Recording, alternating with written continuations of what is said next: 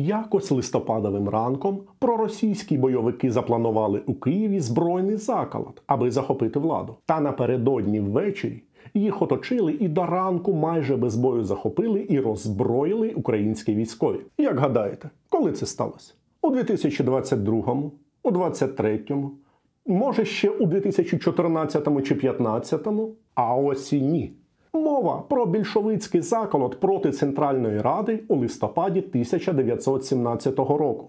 А його придушення стало по суті першою успішною операцією української розвідки. Так, так, українські спецслужби ведуть свою історію ще з доби УНР початку ХХ століття. І зараз я вам розповім про історію створення та розвитку української розвідки, про її успіхи та невдачі, а ще про її легендарних агентів, про які точно можна знімати серіали на Нетфліксі. Обов'язково додивіться відео до кінця. Адже на вас чекає бонус історія загадкового українського мецената і, можливо, шпигуна, який у 1920-30-х прагнув відродити українську державу та, звісно, дивував спецслужби Європи.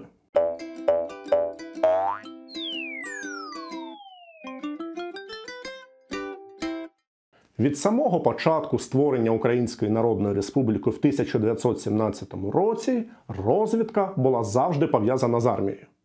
Адже в той період для України існувала постійна збройна загроза як ззовні, так і зсередини. Спроба більшовицького заколоту в Києві відбулась уже за кілька тижнів після проголошення УНР. А операція з його придушення стала унікальною в тому плані, що тоді ще навіть офіційно не існувало окремого українського розвідувального відомства. Це була радше м, розвідувальна ініціатива та дії на випередження військового керівництва частин, лояльних до Центральної Ради. І варто сказати, що впорались вони навідмінно. Протягом ночі більшовики втратили 10 батарей, 200 кулеметів, 2 броньовика, 6 літаків 5 мільйонів набоїв та близько 7 тисяч солдатів. Утім, це не стало тривожним дзвіночком для представників українського уряду. І вони не стали приділяти структурам розвідки значної уваги. Ба більше, тодішній прем'єр УНР Володимир Винниченко до останнього вірив, що війни з більшовиками можна уникнути, якщо їх не провокувати. Тому наприкінці грудня 1917-го домігся відставки єдиного, хто виступав за рішучу збройну відповідь військового міністра УНР Симона Петлюри і наказав розформувати найбільш боєздатні частини, щоб продемонструвати миролюбність та готовність до компромісів. Та це дало геть протилежний ефект. У грудні 1917-го більшовики вторглись до України а в січні 1918-го уже підступали до Києва. Тоді далась в знаки відсутність повноцінної розвідки. Армія УНР очікувала, що основні сили більшовиків наступатимуть з боку Полтави. Однак вони підійшли з боку Чернігова. Зрештою, Червона армія під командуванням Михайла Муравйова захопила Київ і влаштувала в місті справжній терор, убивши тільки за приблизними підрахунками близько п'яти тисяч людей. Аби врятувати світ більшовиків, УНР в січні-лютому 1918-го підписала з Німеччиною та її союзниками у Першій світовій Брест-Литовську мирну угоду. І тільки після цього, у березні 1918-го, у складі Генерального штабу армії Української Народної Республіки створили відділ розвідки. Його співробітники мали вивчати становище на фронтах, а також здобувати інформацію про плани інших держав щодо України. Удосконалення розвідувальної системи продовжилось і за часів гетьманату Павла Скоропадського. У цей період наголоджували агентурну роботу, залучали різні технічні засоби, наприклад, радіоперехоплення та військову авіацію. Особлива увага приділялась збору інформації за кордоном. Створювали резидентуру, до якої залучали як агентів, так і українських дипломатів. На закордонну розвідку гетьманат виділяв чималі кошти. Окрім зарплати, агентам оплачували витрати на одяг, автомобіль, оренду житла, канцелярське приладдя, друкарську машинку, кур'єрів. Окрема стаття видатків це підкуп для лобіювання українських інтересів в іноземних урядах або для доступу до секретних документів, наприклад, планів мобілізації, технічних характеристик озброєнь тощо. Окремо створили осібний відділ, який отримав майже необмежені повноваження і став чимось на зразок таємної поліції. Його співробітники відстежували політичну ситуацію всередині держави, виявляли ворожих насамперед більшовицьких агентів, опікувалися безпекою Скоропадського та його оточення, складали таємні досьє на кандидатів на міністерські посади. Німеччина та Австро-Угорщина підтримували режим Скоропадського. Тож розвідслужби гетьманату намагалися налагодити більш тісні зв'язки для обміну інформацією з німецькими та австрійськими колегами. Однак з того нічого путнього не вийшло через відверту зверхність іноземних спецслужб які не тільки не хотіли ділитись розвідданими, а й нехтували інформацію від українських розвідників. Утім, розвідка та контррозвідка не могли замінити повноцінної армії. Режим Скоропадського по суті тримався на військовій підтримці німців та австрійців. І коли ті програли в Першій світовій війні та вивели свої війська з України, то і гетьманат досить скоро повалили уже наприкінці 1918-го. Друзі, Бабель розраховує на вашу підтримку. І зробити це дуже просто за посиланням в описі під відео. Найбільш ефективним та системним підхід до розбудови розвідки був за часів директорії УНР. В той період створюється розглуджена структура спеціальних служб загальнодержавна та військова розвідка і контррозвідка, допоміжні підрозділи і навіть школа підготовки розвідників. Центральним органом стала розвідачна управа головного управління Генерального штабу армії УНР. Влітку 1920 року в її підпорядкування перевели інформаційне бюро корпусу жандармерії. І невдовзі саме інформбюро стало головним робочим органом розвідки Збройних сил УНР. За досить короткий час розвідники налагодили агентурну мережу в українських містах, у тилу Червоної та Білої армії. У Польщі та Румунії і навіть Україна Хантанти, зокрема у Франції, інформбюро стало своєрідним містком для взаємодії армійських спецслужб та МВС а також стежило, щоб військова розвідка і контррозвідка не втручалися в суто політичні справи.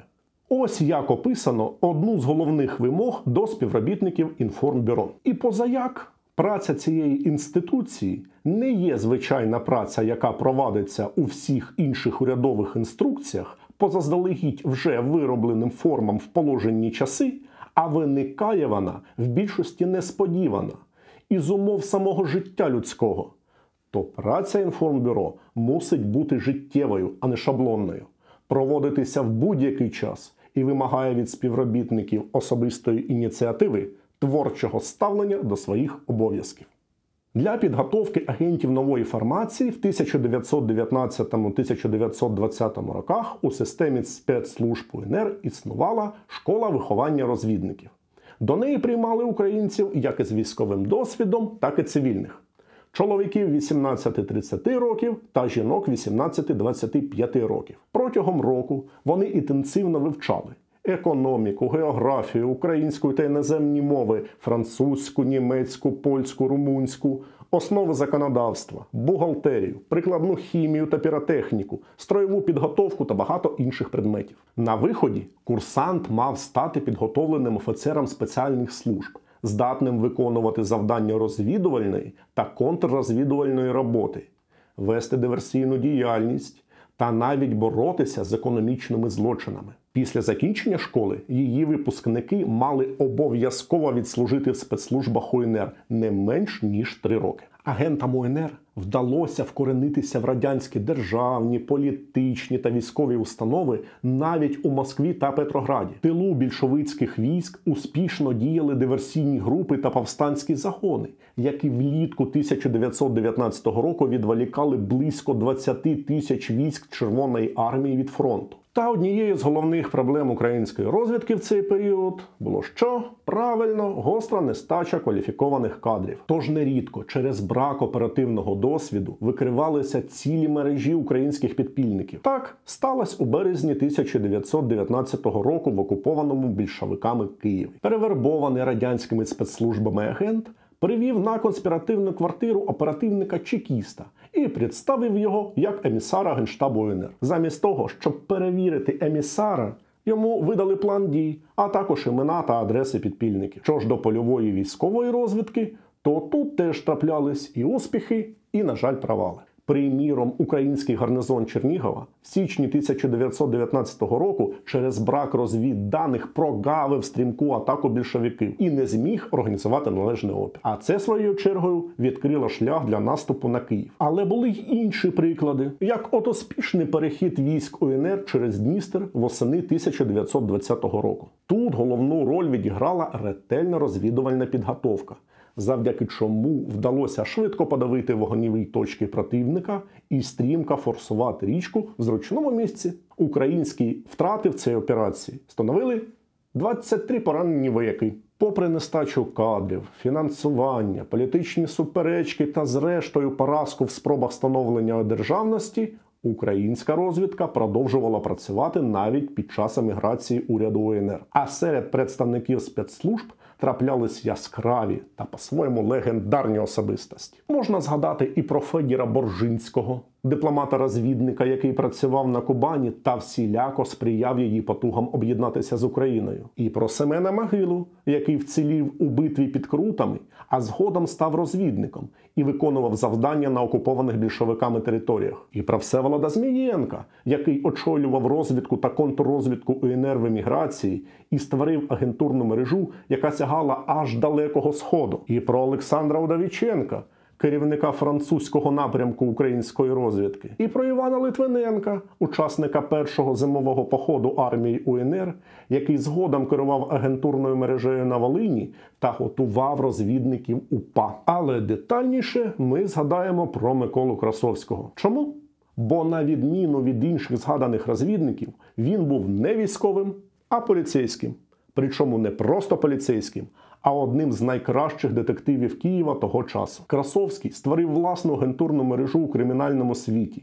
А ще прославився розкриттям десятків гучних злочинів. Однією з найгучніших була справа Бейліса в 1911 році. Тоді експедитора Київського цегельного заводу Менахема Менделя Бейліса звинуватили в ритуальному вбивстві 13-річного учня духовної семінарії.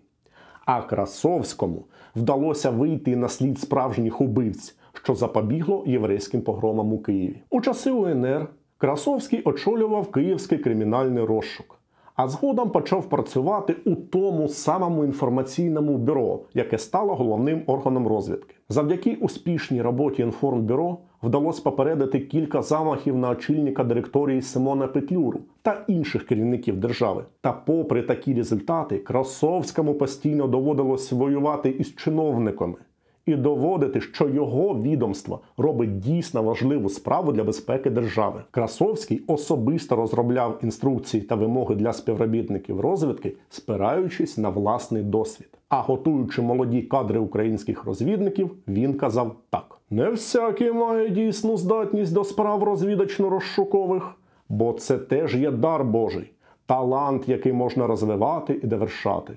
Отже, коли хто не почуває в себе того святого вогню, то будь він з найвищою освітою і значним службовим стажем, він не зможе бути корисним для розвідочно-розшукової організації і йому не місце в рядах тієї сім'ї, яка ідейно і взаглядно віддана любімій праці своїй. Як склалася подальша доля Красовського, достеменно невідомо. Ймовірно, він продовжував працювати в українських спецслужбах в еміграції. За однією з версій, його вбили під час спроби пробратись на територію радянської України в 1934 році. За іншою, Красовський помер у Каїрі в 1938 році. А тепер обіцяний бонус. Але спочатку підпишіться на канал Бабеля і поставте лайк. А як додивитесь, то обов'язково коментуйте та поширюйте це та інші відео серед своїх знайомих. Отже, у середині 1920-х років у середовищі української політичної еміграції в Європі з'явився несподіваний меценат Яків Макогін. Себе він називав відставним полковником корпусу морської піхоти США і нащадком українського гетьмана Кирила Розумовського. Разом з дружиною американкою він об'їздив пів Європи, купував розкішні віли та квартири. А головне, багато жертвував на підтримку українського національно-визвольного руху та привернення уваги світу до українського питання. У 1931 році Макогін придбав для українського пресового бюро старовинну двоповерхову будівлю в центральній частині Лондону. Згодом його філіали з'явилися у Женеві та Празі.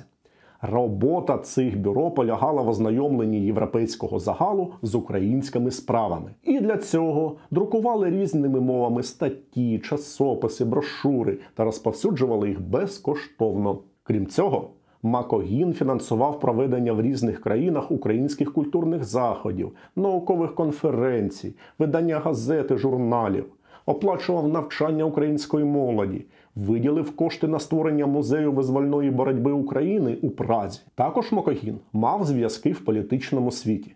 Особливо це стосувалось Британії, де завдяки його старанням українське питання періодично порушували в самому парламенті. Разом з тим. Він намагався об'єднати всі українські організації та політиків для боротьби за відновлення української державності. Очевидці згадували, як він часто повторював: найважливіше справа звільнення України, все інше повинно бути підпорядковане цьому. Звісно, макогонам стали цікавитися різні спецслужби, особливо радянські. Отут і почалась плутанина, яка тільки підкреслює загадковість його особи. Англійці вважали його американським шпигуном, румуни радянським агентом. А в НКВС його пов'язували із англійською, і навіть з польською розвідкою. Так само радянська розвідка не могла з'ясувати, звідки ж Макогін бере гроші. Дуже важко визначити економічну базу Макогона. Він не комерсант, не спекулянт, не має фабрик, його бюро збиткове. Однак він має можливість утримувати вілли у Флориді, поблизу Ніцци та в Швейцарії, приїздити щороку до Карлсбаду, літати аеропланом, викликати до себе і утримувати протягом тижнів у першокласних готелях потрібних йому людей. Йдеться в розсекреченій радянській доповіді про Макогона. Єдине, на чому сходилися спецслужби в описах Макогона, що він 100% українець, знає умови життя на українських землях і менталітет українських діячів. Отже, давайте спробуємо підсумувати, що відомо про Якова Макогона згідно з деякими джерелами. Яків або Джейкоб Макогін, відомий як Макухин, Махонін, Джек Макоун, а ще Полтава Розумовський. Народився у 1880 році, ймовірно, в селі В'язова на Львівщині або в Станіславі, сучасному Івано-Франковську. На початку 1900-х років емігрував до США, отримав американське громадянство, потім служив у корпусі морської піхоти. Під час Першої світової, а також пізніше, ймовірно, співпрацював з американською розвідкою. У 1920 році одружився зі Сьюзен Фалон та, ймовірно, була донькою заможнього американського військового. Протягом 1920-30-х років разом з дружиною кілька разів бував на Галичині, а також за підробленими документами в УРСР. І це все.